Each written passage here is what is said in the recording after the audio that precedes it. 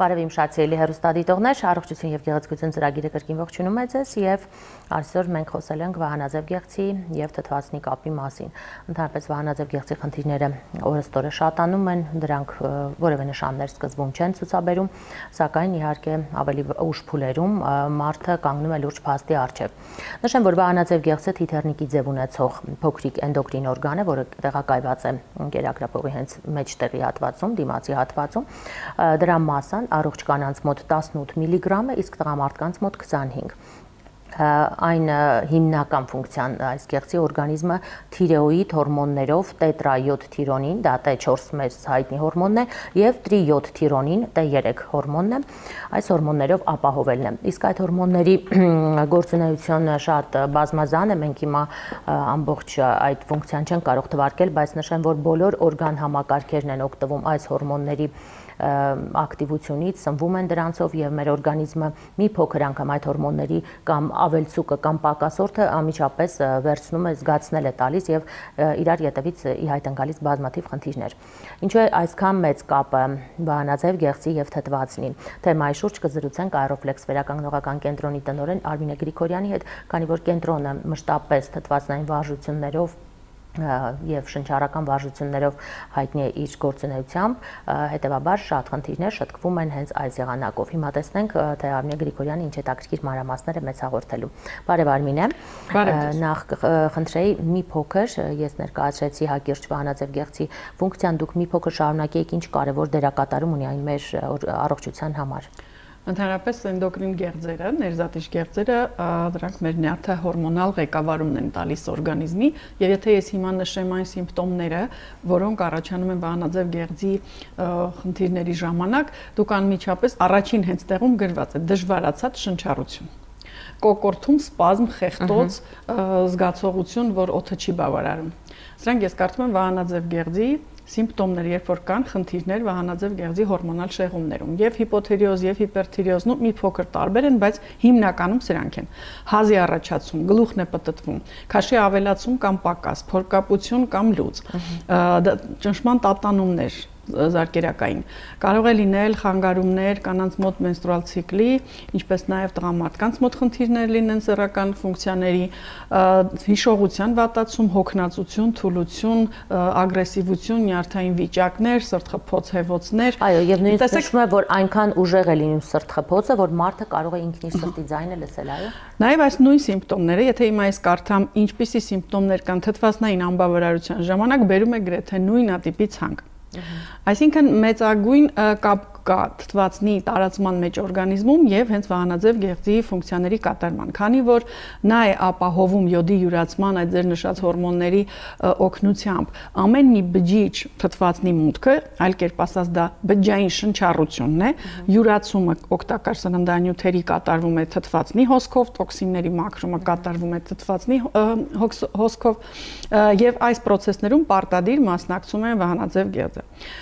Շատ հաճախ ուղակի հենց ինքը վահանաձև գեղձը տուժում է այն պատճառով, որ լինելով այդքան կարևոր թթվածին տարածող օրգան, ինքը զրկվում է թթվածնից։ Իսկն եթե դուք ունեք թթվածնային քաղցկի, սատ եք շնչում, տանում եք հաճախակի վիրուսային խնդիրներ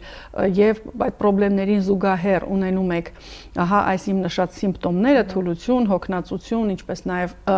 խեղտոցների շնչարկելության ու հեվոցների վիճակ, անպայման առաջանում է նաեւ սրտխփոցը արդեն ազդում է սիրտանոթային համակարգի վրա, ազդում է գլխուղեղի վրա այդ գլխապտույտներ, գլխացավեր կամ հիշողության կենտրոնացման խնդիրներ։ Ահա սրանք բոլորը կարգավորելու համար ուղղակի մեր ժամանակակից բժշկությունը ցավոք միայն ուշադրություն է դարձնում առաջին հերթին հորմոնի նորման բերելու Իսկն կամ արեստական հորմոն փոխարինող թերապիային կիրառում։ Այո, եւ շատ բժիշկներ նշում են, որ վահանաձև գեղձի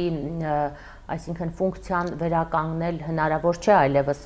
խաթարված ֆունկցիան, բայց հնարավոր է այն ինչ որ ձևով աջակցել, որպեսզի օրգանիզմը ստանա այդ անհրաժեշտ հորմոնը եւ նշում են, որ միակ վատ բանն այն է, որ մարդիկ ստիպված են այս խնդիր ունեցող մարդիկ ստիպված են այդ դեղահաբը ընդունել ողջ կյանքի ընթացքում։ Բայց ցավոք, նույնիսկ երբ որ գտնվում են մասնագետի հսկողության տակ, միայն ժամանակ առ ժամանակ ավելացվում է դոզավորումը կամ քչացվում է, այն էլ կախված հիվանդի կամ այցելուի կենսակերպից։ Նշեմ, որ երբ որ էներգոփոխանակում է կատարվում օրգանիզմում, այստեղ պարտադիր թթվածին է պետք։ Այսօր ես ընթերցում էի մի շարք գիտական խմբերի փորձեր, որոնք նորմոքսիկ եւ թույլ օքսիկ, այսպես կոչված բարոթերապիաներ են կոչվում, այսինքն թթվածնով հագեցնող կապսուլաների մեջ են վահանաձև գեղձով խնդիրներ մարդկանց պարկացնում, որpիսի մի քիչ ավելացնեն թթվածնի հոսքը ճնշման տակ օրգանիզմ եւ տեսնում են, որ զգալիորեն կարգավորվում է ֆունկցիան հենց իր վահանաձև գեղձի եւ նույն դոզավորումը հորմոնների հնարավորություն է տրվում նվազեցնելու։ Ահա ասեմ, որ իմ պրակտիկայում մենք մեծագույն արդյունքներ ենք ստանում շնչառական մարզումներին զուգահեռ, տեսնում ենք ինչպես է կարգավորվում այս բոլոր սիմպտոմները, այսինքն եթե կար խեղտոցներ, շնչառքելություններ, սրտխփոցներ, ստոծանիական ճիշտ շնչառության օգնությամբ շատ հեշտությամբ կարելի է կարգավորել եւ հենց վահանաձև գեղձի ֆունկցիան, հենց գլխուղեղից հիպոֆիզի, հիպոթալամուսի հետ կապը, որը մեր ղեկավարող էնդոկրին գեղձն է դեպի վահանաձև գեղձ, ազդող, ահա բոլոր ասպեկտներով հնարավորություն է ստանում կարգավորելու եւ զգալիորեն իջեցնելու վահանաձև գեղձի դոզավորված ստացված քանակը։ Արմինե, իհարկե բժշկի մասնագետի հսկողություն։ Մենք նշեցինք, որ վահանաձև գեղձի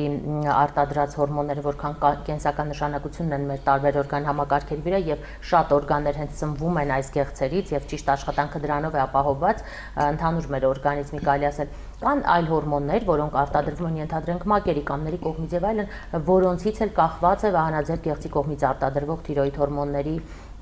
ճիշտ քանակը կամ արտադրության ծավալը։ Տեսեք, իհարկե նշեցի, առաջին ղեկավարումը սկսում է գլխուղեղի կենտրոններից հորմոնալ, դրանք մեր կարելի ասել գլխավոր ղեկավարող օրգաններն են, հիպոֆիզ, հիպոթալամուս, որտեղից սկսվում է ազդեցությունը գնալ դեպի վահանաձև գեղձ։ Մակերիկամների հորմոնները այնքանով են ազդում, որ ստրեսային վիճակներում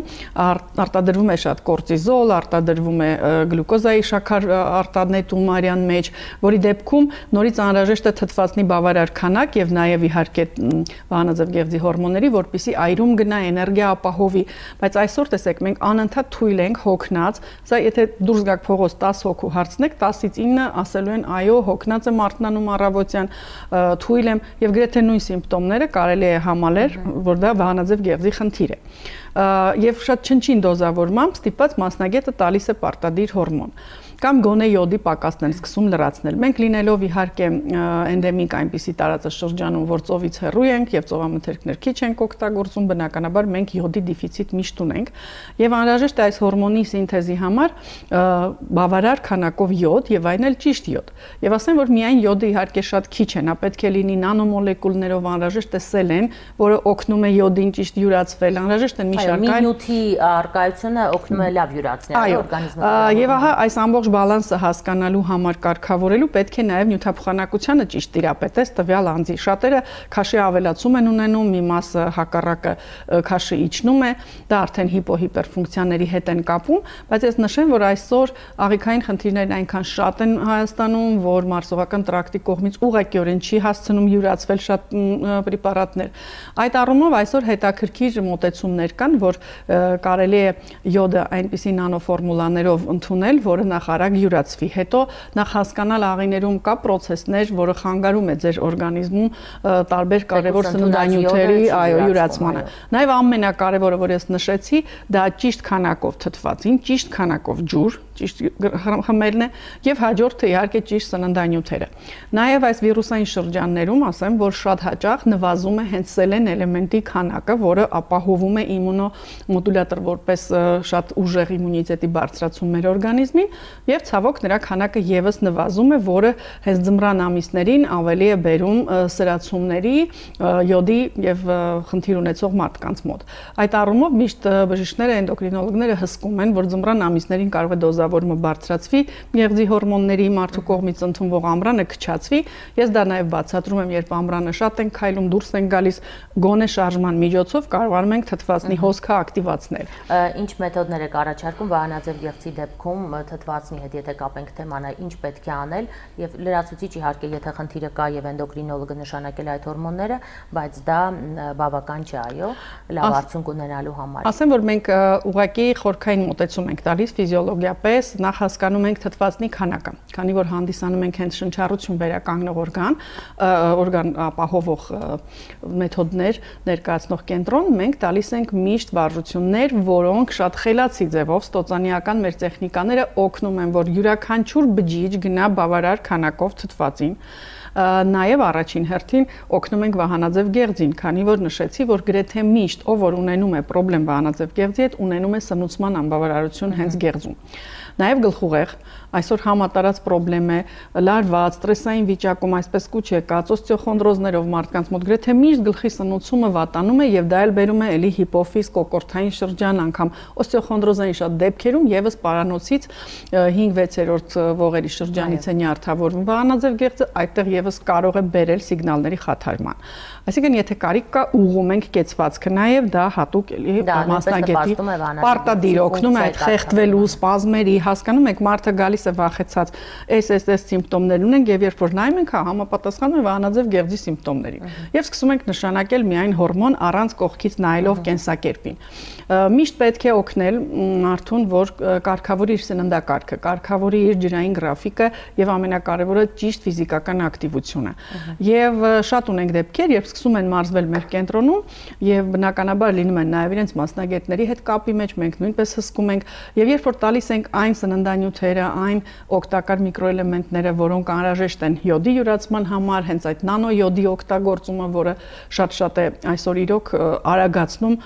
ճիշտ հորմոնի սինթեզմանը։ Հասկանում եք, երբ որ դուք անդադար տալիս եք արտաքինից փոխարինող թերապիա, քո գեղձը ծուլանում է։ Ինքը ել չի աշխատում։ Մեր օրգանիզմը այդպես է մկանը չաշխատեցրիր ծուլանում է, ինչ որ օրգան չաշխատեցրիր ծուլանում է։ Եվ այսպես մեր հերոստատիտողին խորհուրդ ենք տալիս, որ հետևի իր առողջությանը խորքային, այսինքն եթե կան քաշի ավելացումներ, այդ բոլոր թված սիմպտոմները, աղիքային խնդիրներ, անընդհատ վիրուսային հակում, կոկորթային անգամ բորբոքային վիճակները այսօր խոսում է, որ լիմֆատիկ հանգույցները կարող են լցվել հենց վահանաձև գեղձի շրջանում, այ այս այս ընթացքում է, երբ մի վիրուսը մյուսին է անընդհատ հետևում եւ չենք հասցնում իմունիտետը խելքի բերել, չենք հասցնում պայքարել մի վիրուսի դեմ, մյուսով ենք վարակվում։ Եվ դրա արդյունքում անընդհատ ախտահարված են մնում մեր լիմֆատիկ հանգույցները։ Եվ դա եւս բերում է ախտոտման։ Դու գիտեք, որ մենք ունենք համալիր մոտեցում եւ ամբողջ լիմֆոիդ օրգաններին ենք ուսումնասիրում եւ տալիս մաքրում եւ տալիս ենք աղիքային ներծծման process-ների կարգավորում։ Նշենք, որ նույնիսկ կան պարազիտներ, դրանք միկրոսկոպիկ պարազիտներ են, օրինակ տոքսոպլազման, օրինակ միկոպլազման պարզվում է, որ այսօր հակում ունեն նստելու հենց վահանաձև գեղձի շրջակայքում եւ խեղտոցների, սպազմերի այդ զգացողությունը տալ սնվելով քո գեղձի հաշվին։ Այնպես որ պետք է նայել անգամ լյարդի տոքսիկացիոն վիճակը եւս կարող է բերել այդ վիճակի։ հարակից օրգանների պարտադիր ուսումնասիրել եւ օրգանիզմի ամբողջականությունը վերականգնել, որովհետեւ քանի որ վահանաձև ինքը ընդամենը ղեկավարողն է, բայց մյուս օրգանները բոլորը կապված են, անգամ աղիքների աշխատանքը նշեցի ձեզ լուծ կամ կապ, կարող է կապված լինել հորմոնի հետ։ Միայն հորմոնը լցնելը դա շատ քիչ ճանապարհ է։ Ես ուզում եմ, որ ավելի օրգանիզմը ինքը ներսից սովորի աշխատել, խթանել, չծուլացնել մեր օրգաններին, մեր օրգանիզմին եւ տալ ամենակարևորը բավարար քանակով թթվածին եւ ճիշտ սննդանյութեր։ Շնորհակալ եմ Արմինե։ Շնորհակալություն այ բոլոր մեր հեռուստադիտողներին ուշադրության համար, հարգելի հեռուստադիտողներ, իսկապես 21-րդ դարի ճարիք դարձած վանաձև գեղձի խնդիրները պետք է կարգավորել եւ ոչ թե մեկ դեղահապ հորմոն ընդունելով, այլ հարակից զբաղվելով բոլոր օրգան համակարգերով։ Թե շնչառական վարժությունները կամ սպորտով զբաղվելը սրա անբաժան մասը պետք է լինեն։ Այսքան այսօրվա համար հետևեք մեր հաղորդումներին, կհանդիպենք։